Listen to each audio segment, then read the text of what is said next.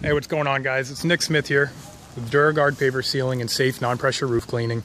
Uh, we're here on a paver sealing and a uh, and a soft wash roof cleaning job here in Hudson, Florida today. Uh, I thought I'd take this opportunity. I've been getting a lot of requests from other contractors uh, in the forums as well as uh, emails asking how we have our equipment set up, what equipment we're using, as well as um, how we have our newest uh, addition to our company here, this 14 foot box truck, how this is set up.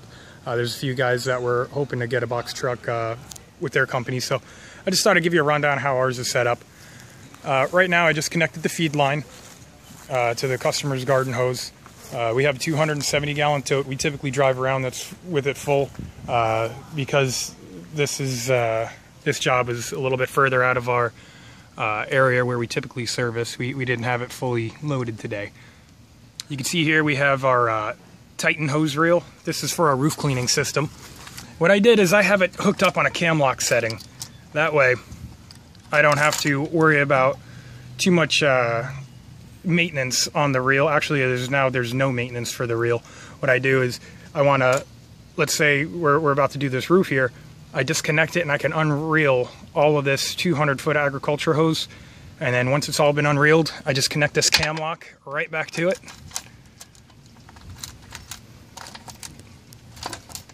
It's not so easy when you're using one hand. Connect the cam lock back to it, and uh, I'm ready for I'm ready to spray. Once it's done, we'll pretend we just connected that with one hand. it's really a two-hand thing. Uh, once it's been uh, connected, you know, I got I got a solid line, feed line going right back into my uh, hose, and I can get the chemical out there and, and, get it done without it spraying around or anything where it doesn't need to be. Uh, really good. I love these cam locks; they're awesome. Uh, it made me bypass the uh, the the reel, the internal plumbing in the reel. That way, I don't have to rinse it out. We use Kynar pumps, so the, those pumps are top of the line, as a lot of you guys know. They don't need to be rinsed out, so I can just finish a roof cleaning job and not have to worry about cleaning out my equipment, and it saves us a lot of time. Moving on here, we have a uh, Steel Eagle high pressure line. It's 3 8 hose. Uh, it's, it holds up to 500 feet. Uh, typically, we just use, right now there's 300 foot of hose on there. Uh, we don't really have much of a need for more than that often. Uh, we do have another 200 foot of hose in the uh, in the truck just in case it's needed, but we, we really rarely, if ever, need to use any more hose than what we have. Walking around here. We'll take a peek at the other uh, hose reel on the side so you get an idea. That's it feeding in right now. It's raining out a little bit. We got a nice drizzle going, so that's what all the water is about here. We have a 100 foot of hose on there. Um, I also keep more in the truck with me, uh, garden hose, but like I said, we typically don't need it. And here you see how we have our truck set up. This is all the equipment needed. Um, I'll start with the flooring. What we did is we put an epoxy coating down on the floor, uh, something that you typically find in garage floor epoxy coatings, uh, or that you'd find in garage floors. Uh, the benefit of this epoxy coating is, let me take a step up here. If God forbid, you know, if, if I have a hose break or something, or there's a big leak in here, uh, or water, a hose blows, which is common, and water gets into the wood. Let's say I just had bare wood on here. Um, it, it, it, can, I run the risk of it rotting over time. Uh, with this epoxy, water cannot penetrate in there. I also put a non-slip additive, the same additive that we use for our brick pavers. Um, a non-slip additive on here. So if it is wet or if our shoes are wet from you know working we're not going to slip when we're standing on here. So it's it's good for the employees as well. Also in the floor you'll see a little different setup back here. What I did is we put a, uh, a border. We made a box pretty much in this uh, on the floor here and I siliconed around all the edges of the box and then we had it rhino lined uh, the purpose of this Rhino liner is this tank here. This is our uh, our mix tank for our roof cleaning agents. It they're very caustic. If we were to spill that on here, I mean, it gets on any of my equipment, it's going to corrode it and destroy it. Uh, so that way, if anything were to ever spill, it all stays contained into this box, which has 10 uh, two inch holes all throughout, drainage holes there's 10 of them, so God forbid if anything were to spill, it's going to stay contained in that container that, that we built there. and it's just going to drain out the bottom and not, not get on my equipment.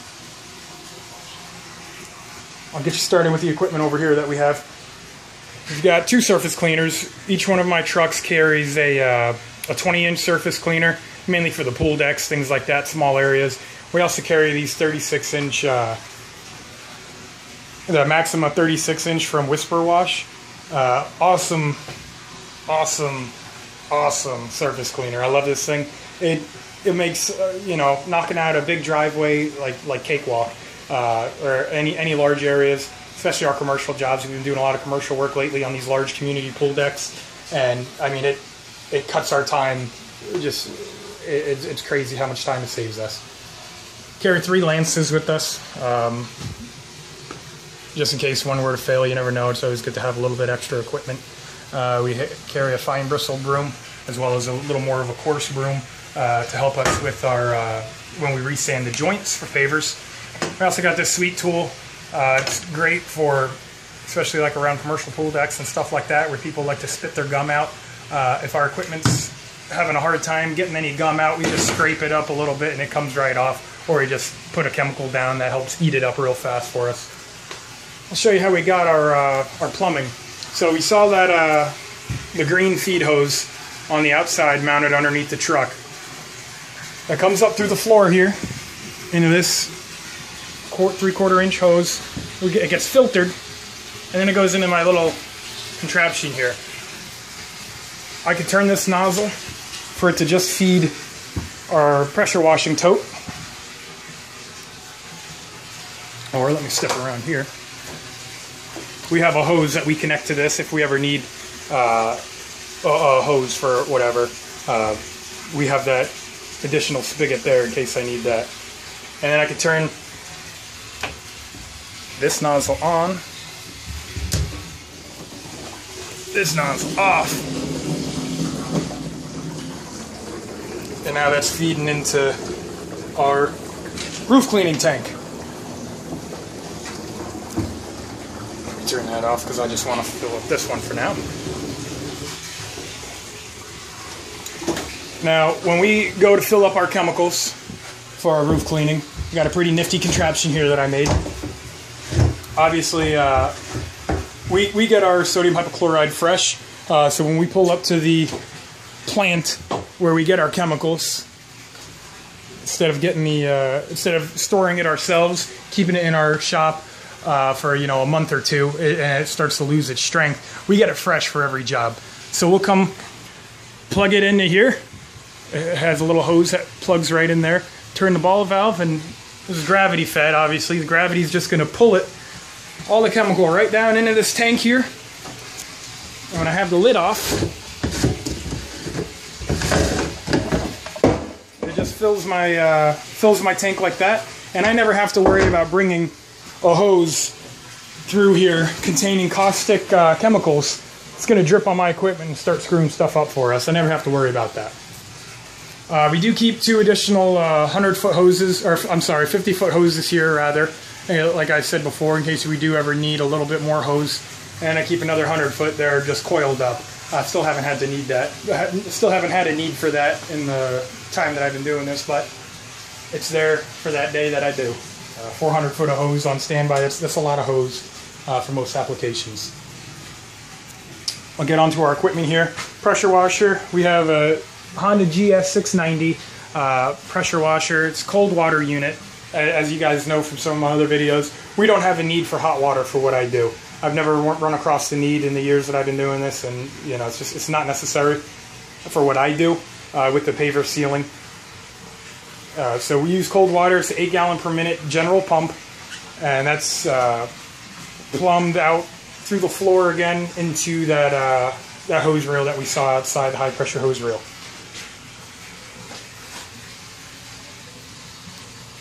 Here we have our air compressor for our low pressure. We don't use a pressure washer. There's two different machines here. Uh, air compressor for our pneumatic air pump, Kynar pump. Thanks to Kevin out there in, uh, I believe, Spokane, Washington. He hooked us up with this uh, pump. Top of the line. It, it, doesn't get much better than this, guys. Uh, these air pumps. I used to run a 12 volt system Uh, now I'm strictly pneumatic systems just because, I mean, you're going to get that longer life. You're not going to have to worry about your equipment failing on you or replacing parts or pumps or, you know, having two or three extra pumps in the toolbox for when they go out on you. Uh, you know, someone told me that that's I always needed to keep a couple extra pumps on standby for when they fail on me, and I was just thought to myself, well, there's got to be a better way because I, I, don't want my equipment failing on me. You know, we don't spend tens of thousands of dollars on each one of our vehicles to have stuff break on us. Uh, we also have some air chocks here uh, where we can connect air hose if we ever need to use. You know, you got the air compressor. It's good to have you know additional things. Let's say we want to fill up a tire, or God forbid something, you know, a flat or something like that. We're able to handle that. We got an air compressor on board, so Kevin hooked us up with this as well. Um, a great little thing there. Here I'll show you, we've got, the way I've got this set up. If I want to dump my tank, I can just close this ball valve off here, turn this one open, open this, and I don't know if you could hear that, but now I got water going through this one inch hose, or one inch pipe rather, pumping out the bottom of my tank uh, 275 gallons. It'll, it'll, take probably a good 20 minutes for it to empty out, or maybe 15 minutes for all that water to empty out. Um, but when we're, when we're, doing these long drives and we don't need to pull around, you know, 270 gallons of water with us if we're going long distance, you know, it, it, it makes a lot of sense. Um, and then, you know, we never have to dump anything in here. So it keeps everything nice and dry the way I like it. What else? Here we got our uh, seal and lock pump. This is the pail pump that we use to apply our sealer. And I also got my wand for it there, my lance, and a shop vac for vacuuming out pool cage railings or you know deck drains or whatever else we may need to clean out when we're on a customer's home. We want to make sure we leave everything clean and pretty. We've got our external fuel tank here. That's for our pressure washer. And I got a toolbox that's mounted here for you know, simple tools that we may need as we're on the job, you know, screwdrivers, you know, pliers, wrenches. Uh, not that we really have the issue of equipment ever breaking, but if something were to break, we're able to fix it, you know, and it's not going to have to end the day for us. Any questions? I think I covered any everything here. Uh, if you guys have any questions, give me a call or shoot me a message or leave a comment. I'd be more than happy to answer anything for you. Again, this is Nick with DuraGuard Paver Sealing and Safe Non-Pressure Roof Cleaning. 727 218 4221, servicing Pasco, Hernando, Hillsborough, Bradenton, Sarasota, and even Orlando, Florida.